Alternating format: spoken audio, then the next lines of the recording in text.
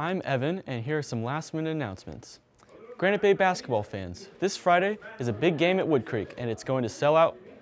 So tickets can only be purchased at the Granite Bay Student Services window this Thursday and Friday. Tickets will not be available at Woodcreek.